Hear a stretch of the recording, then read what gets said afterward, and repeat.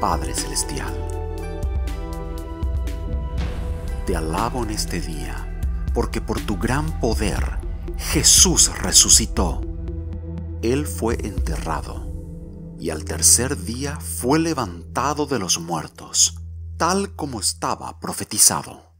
La historia dice que cuando las mujeres entraron en la tumba, el ángel les dijo, Jesús no está aquí, ha resucitado. Yo creo en Jesucristo y por tanto viviré para siempre gracias a su sacrificio.